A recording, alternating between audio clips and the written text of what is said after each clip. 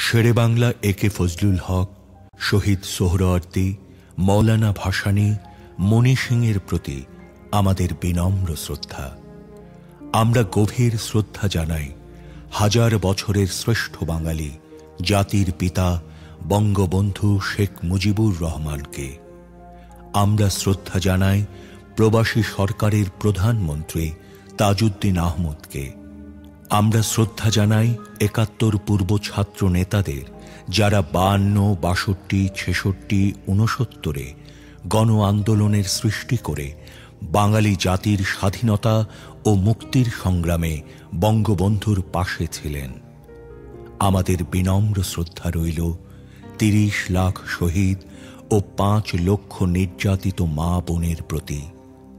আমরা শ্রদ্ধা জানাই বীর মুক্তিযোদ্ধাদের যারা স্বাধীন বাংলাদেশ সৃষ্টি করতে শহীদ হয়েছেন।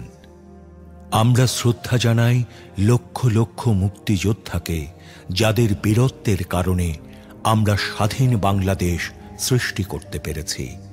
আমাদের গভীর শ্রদ্ধা রইল একাত্তর সালের সেই জনগোষ্ঠীর প্রতি, যারা সীমাহীন কষ্ট ও নির্যাতন ভোগ করে মুক্তিযুদ্ধের প্রতি অনুগত থেকে মুক্তিযোদ্ধাদের সর্বাত্মক সহযোগিতা দিয়ে স্বাধীন বাংলাদেশ সৃষ্টিতে ভূমিকা রেখেছেন। এদের সবার কাছে আমরা ঋণী।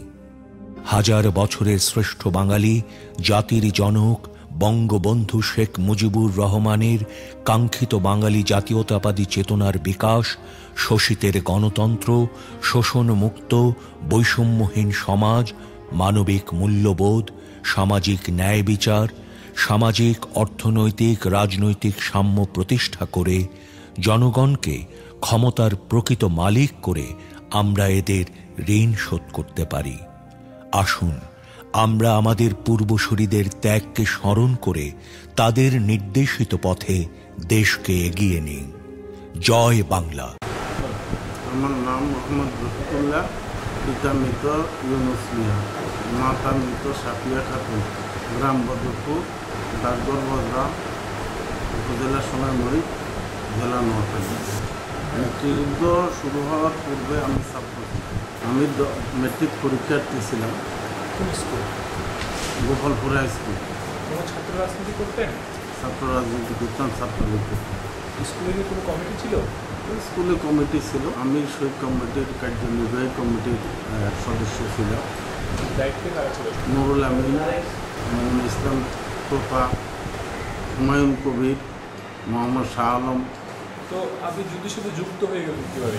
উনসত্তর সত্তরের যে উত্তর আন্দোলনগুলো হয় তার সাথে আমরা সম্পৃক্ত হই এবং গোপালপুর থেকে বিভিন্ন সময়ে যে সমস্ত কেন্দ্রীয় কেন্দ্রের পক্ষ থেকে যে সমস্ত নির্দেশনাগুলো দেওয়া হতো আমরা সেটা স্থানীয় পর্যায়ে তৃণমূলে আমরা সেটা বাস্তবায়নের চেষ্টা করি এবং আমরা বিভিন্ন স্কুলে, যেমন গোপালপুর থেকে মেশিন নিয়ে আমরা এই বজরা স্কুলে এখানে আসি।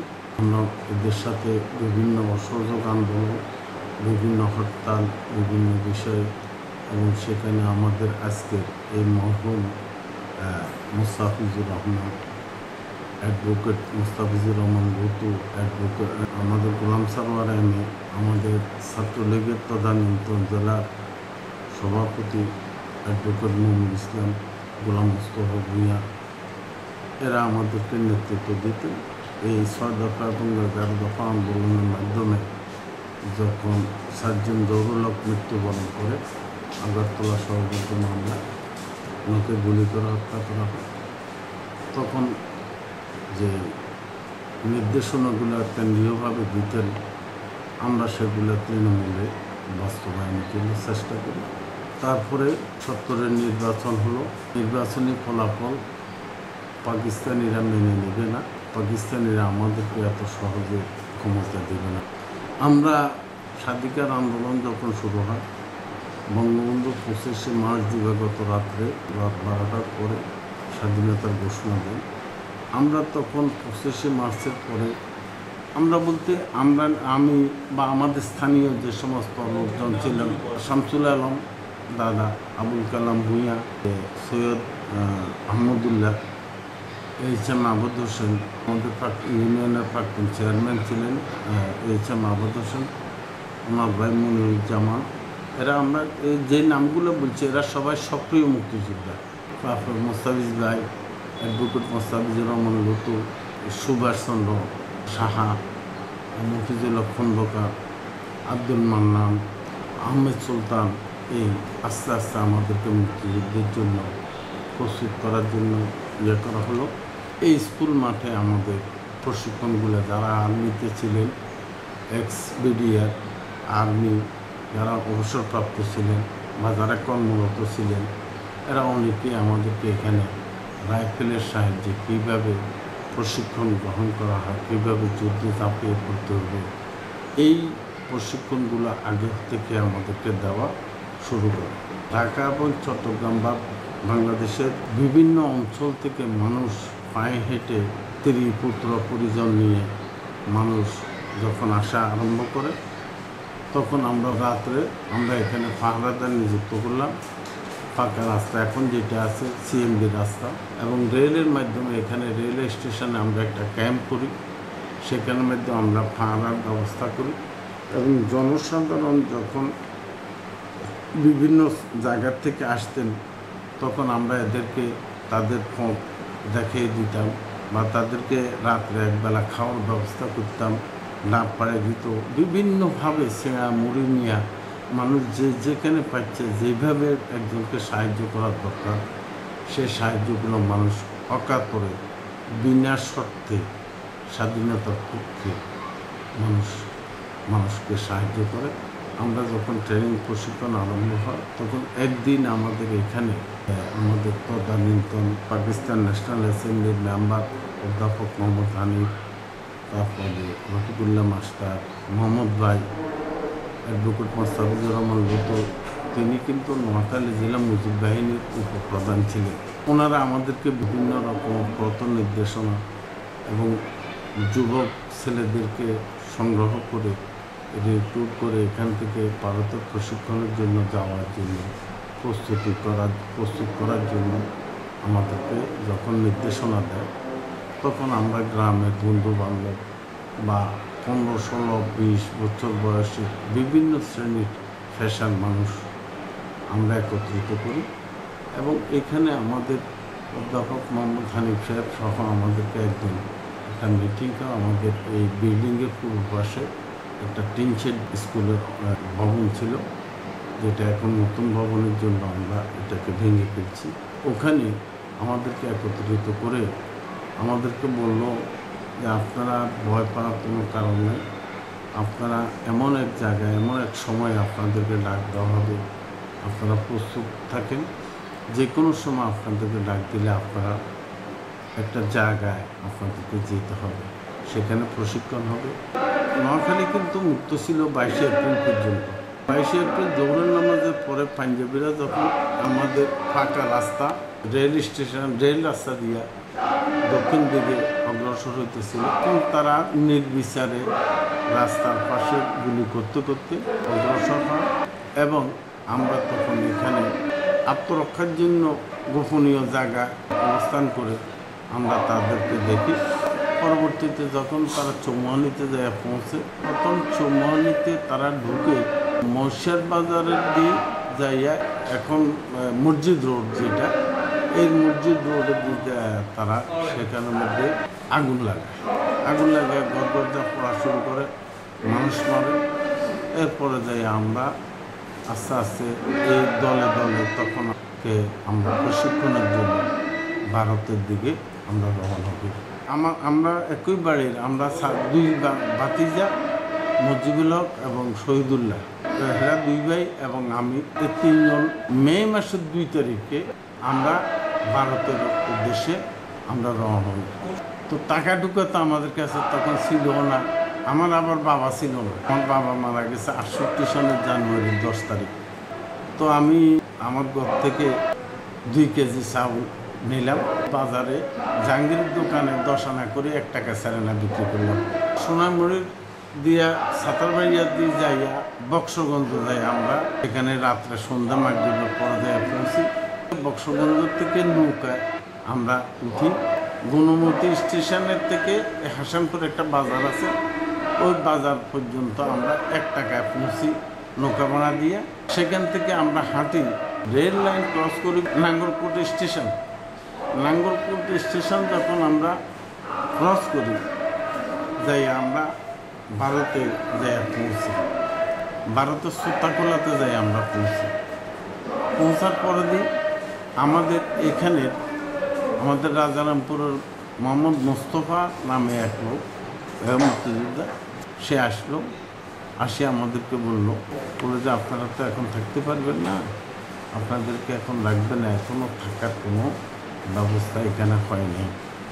তো ক্যাপ্টেন আব্দুর রব এখানে খুব এক্স আর্মি উনি আসেন উনি ক্যাম্প চিফ হিসাবে এখানের মধ্যে আসেন আপনারা এখন চলে যেতে হবে। চলে গেলে আপনারা পরবর্তীতে আপনাদের সাথে যোগাযোগ হবে, আপনাদেরকে কারা আনবে, ও কীভাবে আনবে, এটা লোকজন ঠিক করে দেওয়া হবে, তখন আপনারা আস- আসবেন। এখন সারাদিন হাটে উপবাস। আগের দিন গেছি, সারা রাত্র উপবাস। তো আমরা আবার সেখান থেকে ব্যাক করলাম। ও যে পথে গেলাম, ওই পথে আবার ব্যাক করলাম। নাঙ্গলকোট স্টেশন দিয়ে, বাজারের ভিতরে দিয়ে, কোনো রকম আমরা পার হইয়া দলটা গ্রাম, নাঙ্গলকোটের মধ্যে। সেই গ্রামের ভিতরে যাই এক বাড়িতে যাই ঢুকলাম। ওরা আমাদেরকে তাদের কামনার সাথে বাংলা ঘর আছে কাঁচারি ঘর সেখানের মধ্যে আমাদেরকে তাদের থেকে চারটা বাতা নিয়ে আমরা দুজন, তিনজনে মিলে আমরা ওখানের মধ্যে খেলাম। পশ্চিম আকাশে যখন সূর্য ডুবে গেল ধরেন এশার নাম, মাগরীবের পরে এশার নামাজের আগে আমরা তাদের ওখান থেকে আবার শুরু করি হাঁটা শুরু করলাম। সারা রাত্র হাঁটার পরে ভোরবেলা আমরা আসি, আমরা আমাদের এখানে চলে আসলাম। বাড়িতে চলে গেলাম। এখন চারদিকে কিন্তু খবর হয়ে গেছে যে আমরা ভারতে চলে গেছি, আমরা মুক্তিযুদ্ধে চলে গেছি।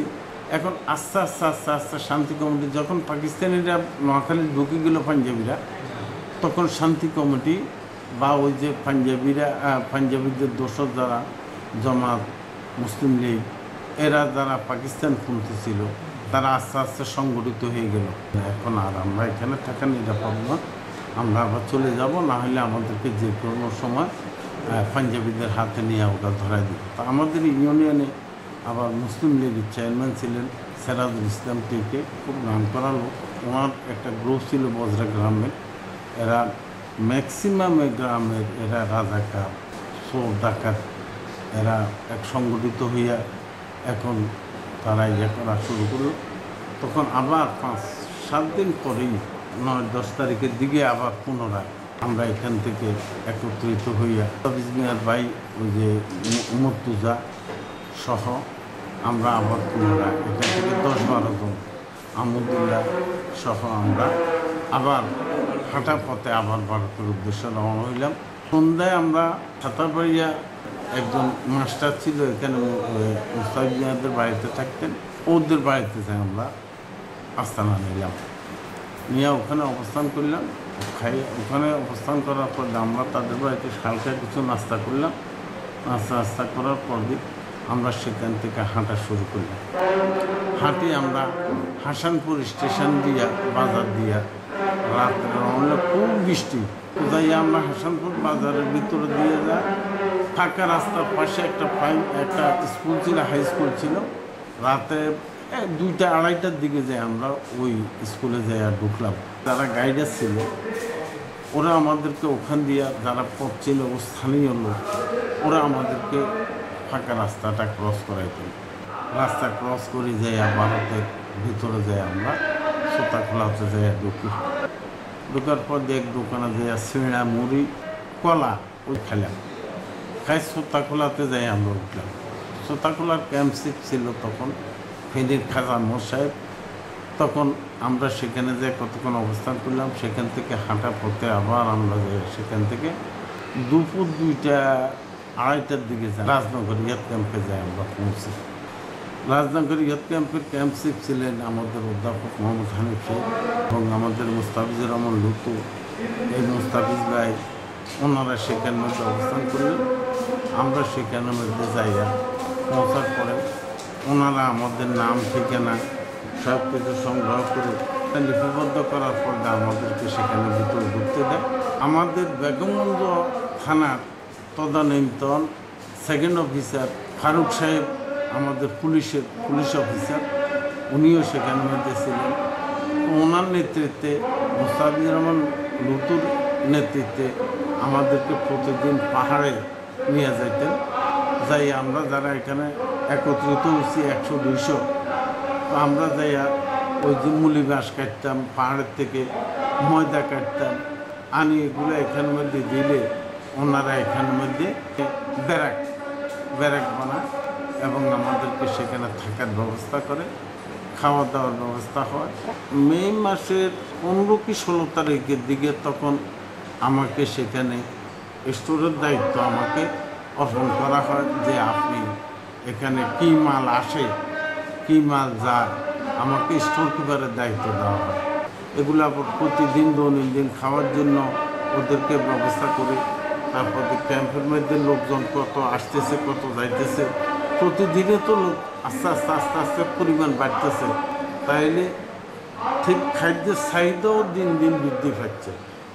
তো ওগুলো আমরা, আমি ব্যক্তিগতভাবে আমি সেখান মধ্যে ইয়ে করলাম। করার পরে জুন মাসের এক তারিখে আমাকে সেখানে স্টোর কিপার হিসাবে লিখিতভাবে দায়িত্ব দেওয়া হয়। জুন মাসের শেষ দিকে আমাদেরকে প্রশিক্ষণের জন্য মনোনীত করে। প্রশিক্ষণের জন্য আমাদেরকে এই রাজনগর ইয়াদ ক্যাম্প থেকে ট্রাক যোগে আমরা মেলাগড়ের উদ্দেশ্যে ত্রিপুরা মেলাগড় হেডকোয়ার্টার আমাদেরকে প্রশিক্ষণের জন্য প্রেরণ করে তো আমরা ছিয়ানব্বই জন এবং আমরা জুলাই মাসে প্রশিক্ষণ গ্রহণ শেষে তিরিশ দিনের প্রশিক্ষণ গ্রহণ করি কর্নেল শওকত সাহেব আমাদের সেখানে ক্যাম্প চিফ ছিলেন, বিএম মতিন সাহেব ছিলেন, ব্রিগেডিয়ার মতিন সাহেব এবং প্রশিক্ষণ গ্রহণ শেষে আমাদেরকে বাংলাদেশে যাওয়ার জন্য আসার জন্য সেখান থেকে ক্যাম্প থেকে প্রেরণ করে ওই রাজনগরীয় ক্যাম্পে। রাজনগরীয় ক্যাম্পে আসি, এখান থেকে আমরা সোতাকলাতে চলে আসি। এখানে আসার পরে অস্ত্র অর্ধেকের কাছে আছে আর অর্ধেকের কাছে নাই। আমাদেরকে ক্যাপ্টেন জাফর ইমাম একদিন বলছে, আপনারা রাজা তখন রাজাকার সৃষ্টি হয়েছে। বলছে, রাজাকারদেরকে সাত দিন, দশ দিনের ট্রেনিং দিছে। বাংলাদেশের অভ্যন্তরে ঢুকে আপনারা মুক্ত এলাকা অবস্থান করবেন এবং সেখানের মধ্যে তাদের সাথে যুদ্ধ করে আপনারা অস্ত্র কাড়ে নেবেন। তারপরে আপনারা ইয়ে করবেন। আমরা ওই অস্ত্র পাওয়ার জন্য আমিও বললাম যে আমার কাছে অস্ত্র নাই। তো যারা অস্ত্রধারী ছিল, তাদেরকে আলাদা করল। যারা অস্ত্র নাই, তাদেরকেও আলাদা করল।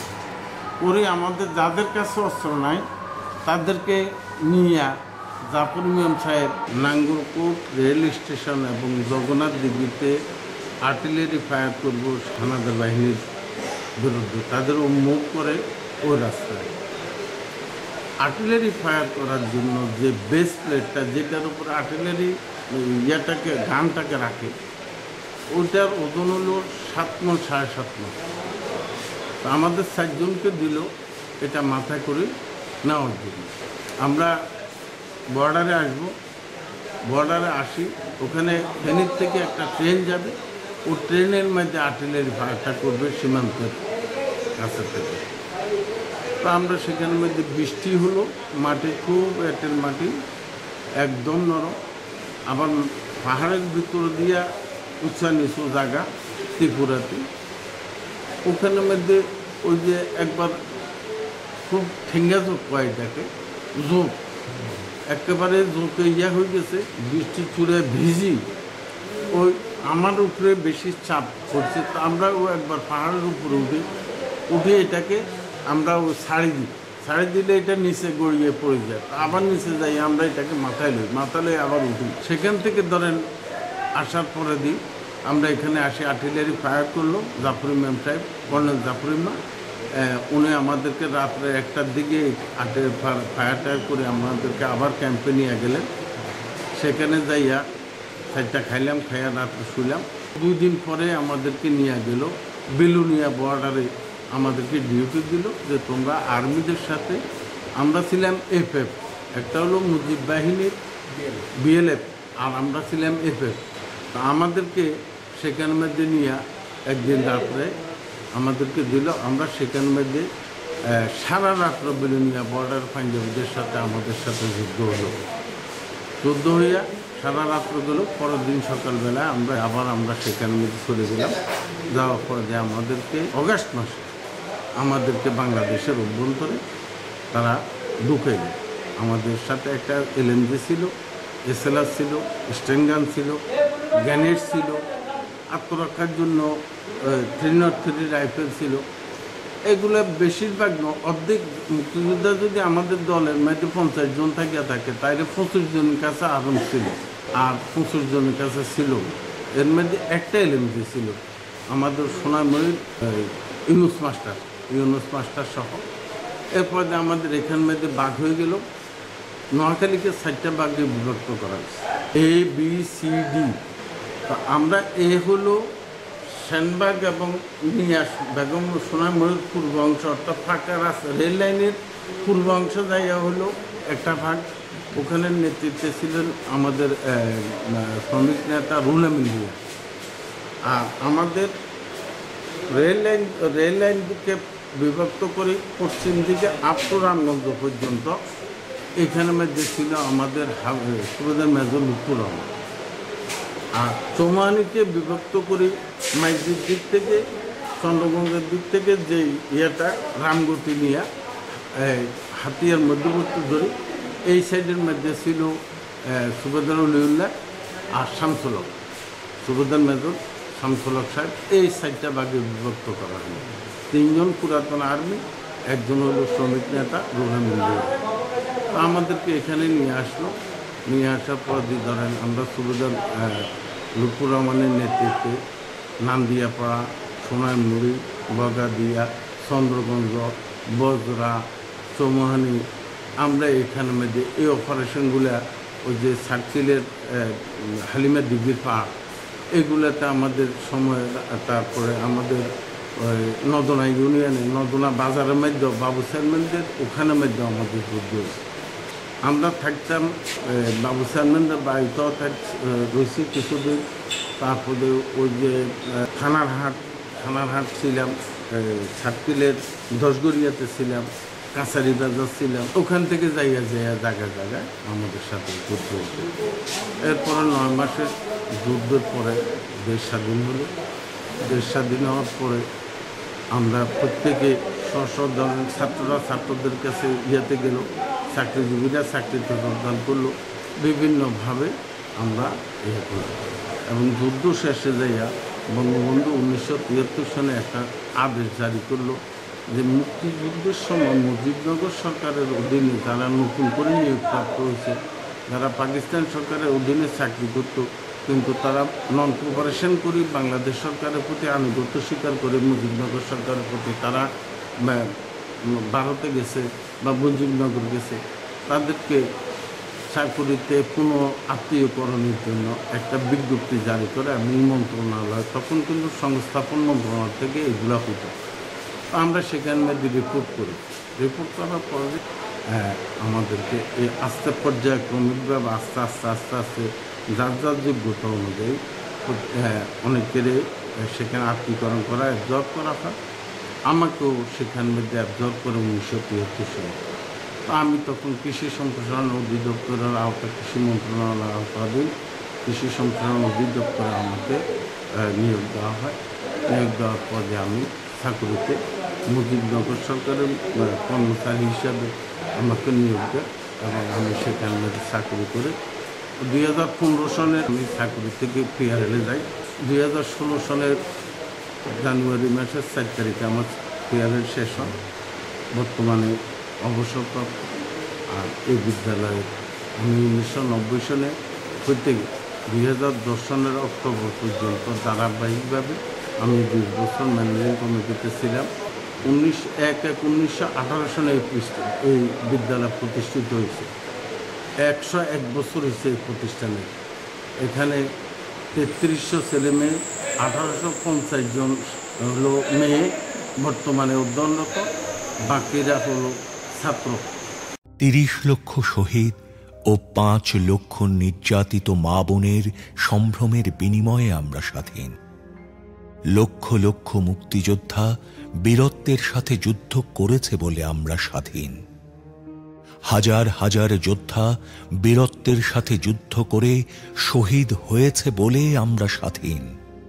কোটি কোটি লোক আমাদের সমর্থন করতে গিয়ে অবর্ণনীয় দুঃখ কষ্ট সয়েছে বলেই আমরা স্বাধীন।